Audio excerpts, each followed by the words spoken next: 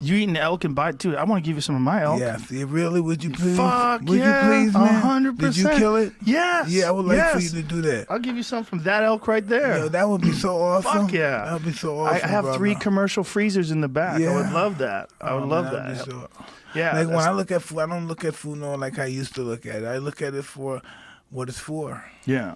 You know what it's for. To take care of the body. Exactly. Yeah. Well, that's the best meat You know, too. I, I realize that there's you know things that are good for other people like the the kale and the vegetables and all this stuff, the blueberry, and then for me it's really poisonous.